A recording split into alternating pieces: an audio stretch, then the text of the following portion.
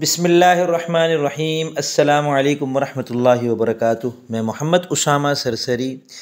तालीमनहव सफ़ा नंबर सतहत्तर खोलें। सेवेंटी सेवन फ़ेल मुजारे में अमल करने वाले हरूफ। हम थोड़ा पीछे से मरबूत कर लेते हैं बात को। हम आमिल की बहस पढ़ रहे हैं और आमिल की दो किस्में हैं, लफ्ज़ी और मानवी। आमिल लफ्ज़ी की तीन किस्में हैं हरूफ आमिला असमा आमिला अफ़ाल आमिला हरूफ आमिला की दो किस्में हैं, इसम पर अमल करने वाले हरूफ और फ़ैल मुजारे पर अमल करने वाले हरूफ।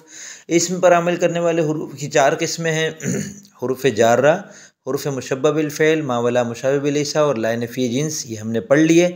अब हम पढ़ रहे हैं फ़ैल मुजारे पर अमल करने वाले हरूफ और ये फ़ेल मुदारे पे हमल करने वाले हरूफ की दो किस्में हैं, फ़ेल मुदारे को नसब देने वाले और फ़ेल मुदारे को जज्म देने वाले हरूफ। फ़ेल मुदारे को नसब देने वाले हरूफ चार हैं, अन, लन, कई और इदन। अन का तर्जमा है के। मैंने कहा था के। और लन का तर्जमा होता है हरगिज़ नहीं, और ये फ़ेल मुदारे को मुस्तबिल के माना में कर देता है। लन अजरिबा मैं हरगिज़ नहीं मारूँगा। कई का तर्जमा है ताके और इज़न का तर्जमा है फिर तो। ये तर्जमा अहतमाम से याद किया करें, इसको लिख लिया करें अपने पास और जब तक तालब इल्म को लफ्ज़ का तर्जमा ही नहीं पता होगा, सारी नहवी बहस उसके लिए बेकार है, मैं समझता हूँ। अन ये फ़ेल मुदारे को मुस्तबिल के साथ ख़ास कर देता है।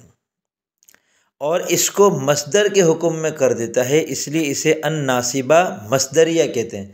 नासिबा इसलिए कहते हैं कि ये फ़ेल मुदारे को नसब देता है और मसदरिया इसलिए कहते हैं कि ये फ़ेल मुदारे को मसदर के माना में कर देता है। जैसे अन्ना जुमला इसमिया को मसदर बनाता था, अन फ़ेल मुदारे को मसदर बना देता है। जैसे अन तसूम खैरुल्लकुम ये कि तुम रोज़ा रखो, तुम्हारे लिए बेहतर है। ये लफ्ज़ी तर्जमा हो गया। अब मसदर कैसे बनाएँ? कि तुम्हारा रोज़ा रखना तुम्हारे लिए बेहतर है। अन तसूमु इसमें क्या करेंगे हम? फ़ेल मुदारे का मस्तर निकालेंगे, सौम। और इसमें देखेंगे, तसूमु में जमा मुजक्कर हाजिर की ज़मीर है तो सौम की इजाफ़त करेंगे जमा मुजक्कर हाजिर की ज़मीर की तरफ़ तो ये बनेगा सऊ मुकुम अन तसूमु का मतलब है सऊ मुकुम तुम्हारा रोज़ा रखना खैरुल्लकुम, तुम्हारे लिए बेहतर है। दूसरी, दूसरा लफ्ज़ है लन। ये भी फ़ेल मुदारे को मुस्तबिल के साथ ख़ास कर देता है और ताक़द के साथ इसकी नफ़ी करता है, जैसे लई लनसुरा वो हरगिज़ मदद नहीं करेगा।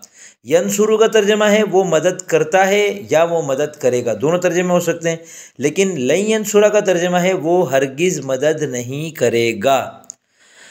तीसरा लफ्ज़ है कई। ये भी अन की तरह नासिबा मसदरिया है। और इससे पहले लाम तालील लफ्ज़न या तकदीरन ज़रूर होता है। यानी लफ्ज़ों में होता है, इसको यूँ पढ़ते हैं, लिकई, या फिर ये सिर्फ़ कई पढ़ते हैं और लाम यहाँ पे माजूफ़ होता है। और इसका माकबल इसके माँ बात के लिए सबब होता है। जैसे असलम तो मैं मुसलमान हो गया, कई अदखल जन्ना, ताकि मैं जन्नत में दाखिल हो जाऊँ। अब माँ बात क्या है? अदखल जन्ना, ये सबब है मेरे इस्लाम लाने का। जन्नत में दाखिल होने, होना मेरे इस्लाम लाने का सबब है। नहीं, मेरा इस्लाम लाना मेरे जन्नत में दखूल का सबब है। कई से पहले वाला, कई के बाद वाले के लिए सबब होता है। माँ कबल और माँ बाद कहते हैं माँ कबल पहले वाला और माँ बाद बाद वाला। ये भी बड़ा दिलचस्प लफ्ज़ है। माँ कबल और माँ बाद ये अरबी से लिया है उर्दू वालों ने। अरबी में यूँ कहते हैं, माँ कब लहू माँ मौसूला है और कब लहू मुदा मुदाफिली मिलकर मफूल फ़ी ही है। किसका? माँ हुआ मौजूद कबल हुआ मुबतदा है, सही और ज़मीर है, लौट रही है माँ की तरफ़। जो चीज़ के वो, माँ हुआ। मौजूद शिब फ़ैल कबलहू, इसका मफूल फ़ी ही है। शिब फ़ैल अपने मफूल फ़ी से मिलकर हुआ की ख़बर। मुबतदा अपनी ख़बर से मिलकर जुमला इसमिया ख़बरिया होकर माँ मौसूल का सिला। माँ मौसूल अपने सिले के साथ मिलकर फिर कलाम में किसी के भी ये बनता है, कभी फ़ाइल बनता है, कभी मफूल बनता है, कभी कुछ भी बनता है, कोई भी मामूल बन सकता है। तो अब ये जो माँ कबलहू था उर्दू वालों ने इसका हु हटा दिया और इसको कर दिया माँ कबल। और इसी तरह माँ बाद जो है ये असल में था माँ बादहू।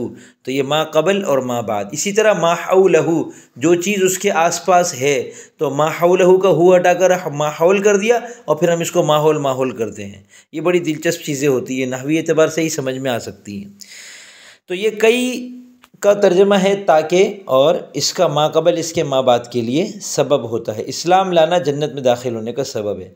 चौथा लफ्ज़ है ईज़न ईज़न का क्या तर्जमा है? फिर तो ये हमेशा किसी कलाम का जवाब बनता है और फ़ेल मुदारे को तीन शर्तों से नसब देता है। शर्तें बाद में पढ़ें, पहले तीसरी शर्त के आगे देखिए मिसाल लिखिए कोई कहे उसाफिर बाद सातिन, कि अन करीब मैं सफ़र करूँगा एक घंटे के बाद।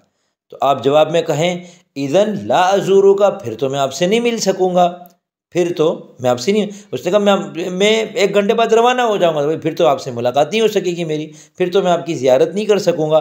तो अब ये ईदन जो है, ये फ़ैल मुदारे को नसब देता है ईदन ला अजूर का ईदन ला अजूरू नहीं ईदन ला अजूर का रा नसब है। इस तो पहली शर्त यह कि इसके बाद फ़ेल मुदारे मुस्तबिल के माना में, फ़ेल मुदारे के अंदर हाल वाला माना भी होता है और मुस्तबिल वाला माना भी होता है। ला अजूर फ़ेल मुदारे है। इसका एक तर्जमा है, मैं ज़्यारत कर, नहीं करता हूँ और इसका दूसरा तर्जमा, मैं ज़ियारत नहीं करूँगा। तो ईदन जो है, इसके बाद जब फ़ेल मुदारे आएगा, वो मनसूब तभी होगा जब वो मुस्तबिल के साथ ख़ास हो जाएगा, उसके अंदर हाल वाला तर्जमा नहीं हो सकेगा। देखिए ना, अगर कोई कहे, मैं सफ़र पे निकलने वाला हूँ एक घंटे बाद तो मैं आप, उसको जवाब में कहूँ ईदन ईदन ला अजूरा का, और इसका तर्जमा मैं ये कहूँ, करूँ कि फिर तो मैं आपकी ज़ियारत नहीं करता हूँ। तो ये तर्जमा गलत हो जाएगा ना। और शर्त नंबर दो क्या है कि इसका माँ बाद माँ कबल के लिए मामूल ना बने। ईज़न के बाद आ रहा है ला अजूरा का, और ईज़न से पहले आ रहा है सऊसाफिर बाद सातिन तो ये ला अजूरा का जो है ये सऊसाफिर का मामूल नहीं बन रहा। मामूल के क्या मतलब है? मरफूआत मनसूबात या मजरूरात में से कुछ हो रहा हो तो वह ऐसा नहीं है। और तीसरी शर्त यह कि इसके और फ़ेल मुदारे के दरमियान लाए नफ़ी और कसम के अलावा कोई और फासला ना हो। ईदन और अजूरू, इसके दरमियान देखिए ला आ रहा है। ला आ सकता है और वल्ला ही आ सकता है। ईदन वल्ला ही ला अजूरा का। फिर तो अल्लाह की कसम में आपकी ज़्यारत नहीं कर सकूँगा। बस ये कसम और ला। ये दो चीज़ें ईदन और उसके फ़ेल मुदारे के दरमियान आ सकते हैं। इसके अलावा कोई और तीसरी चीज़ आएगी तो फिर इधन अपने फ़ैल मुदारे को मनसूब नहीं करेगा। अब अन जो है वो मुक़द्दर होता है, वो अगले सफ़े पर इंशाल्लाह अगले सबक में पढ़ेंगे वो।